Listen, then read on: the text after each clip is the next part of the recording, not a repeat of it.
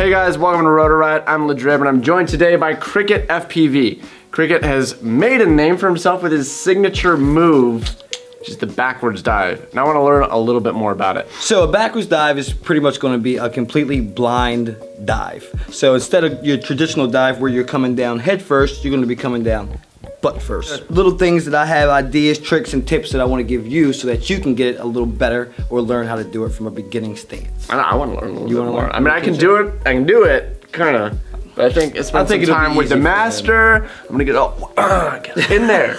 Do throw it back. So to get started, let's start in kind of a controlled, safe environment. We're gonna head down to our warehouse, get a micro brushless drone, which has enough power to do some of these moves, Shouldn't be a problem. but you know, isn't gonna be so um, so much of an impact if you crash. And I kind of feel like this is a move that you have to crash a lot to learn. No, no crash is needed.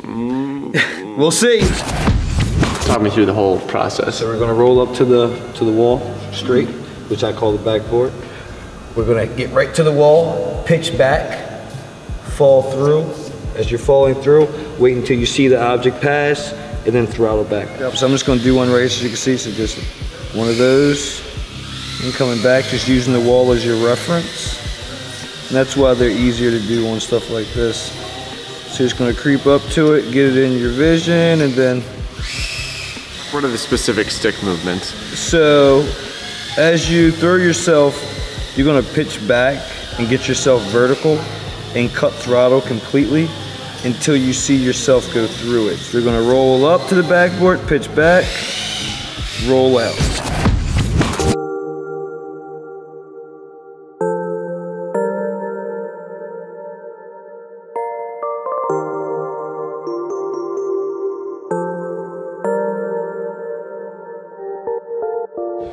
What we're working with today, though, is just like a really narrow hole in top of a roof. So, mm-hmm. like, how do you? Well, this one's difficult because you just have to know that you're gonna have to come out on an angle from whichever way you drop. You know what I mean? I need to watch you do it.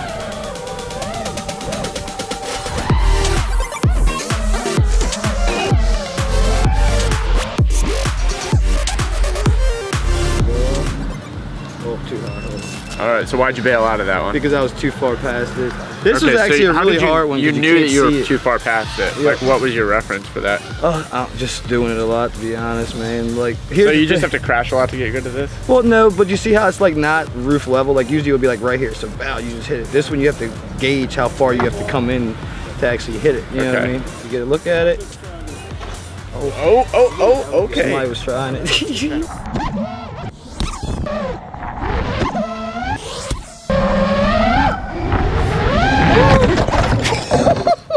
Well, if there was a hole behind us, it would have just been. Why is it so difficult while you're watching? I did it first try. I feel like something to take from this trick tutorial is that first off, if you're gonna do this, definitely have turtle mode if you're gonna land on a roof where you're probably not gonna be able to climb or access your drone.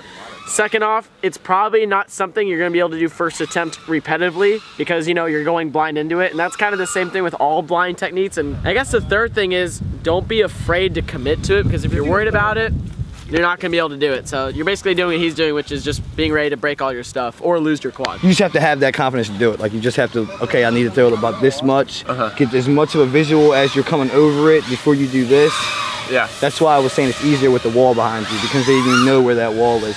Where this is in the middle of a roof, Right. no perspective of where. Yeah, Once you see it come out though, like once you get out of it, Yeah. once you do it, you it's just come back and then That's you're good. This is a very difficult one. I'm glad I got it the first time, so I don't have to do it again. Actually, okay. Here's my other idea: is could I use this hole lengthwise? Yeah, you definitely can shit harder. Is it harder? Because Yeah, I think just- I can. Here's what I can do. I Oh, can warm yeah, up with yeah. just doing like that. Yep, and then coming back. Okay, so that just kind of dropped through. Yep. Okay. That makes sense. I didn't think about Now it I like that. can. Now I can really look up. Oh, that catch is weird.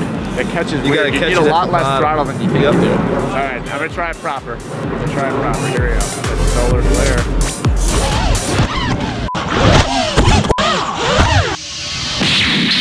Dude, I don't know if I can do this gap. it's really fucking hard. There's no it's reference point. So it's all just about doing it enough times so that you kind of like Get used to it. get used to it and get lucky.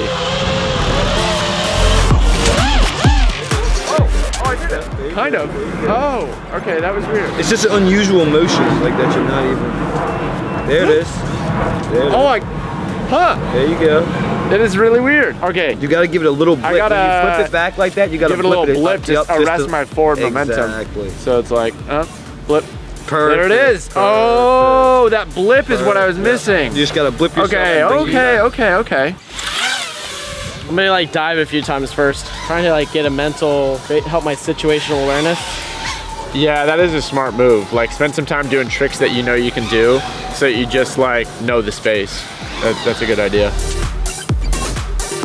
Okay, you're you're doing what I was doing.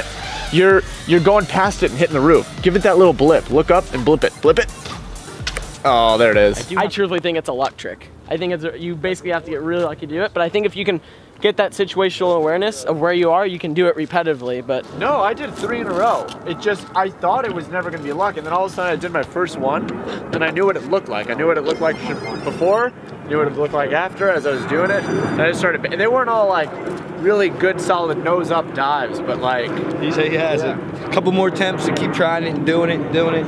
And once you get a couple under your belt, it just makes you that much more confident when you run up and do it. they write off things as, as luck, but there's another element, it's persistence, and that's not necessarily bad. Like I was thinking like about skateboarders when they want to do some handrail trick. It, It takes thousand over and over Yeah, and they over. fall and bust their ass a thousand times. Man over just killed it. That was it. That was it. That was it.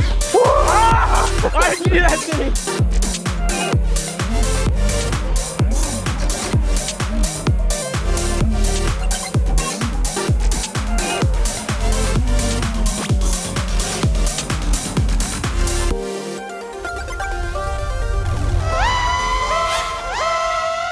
Something to think about, crashing in tall places.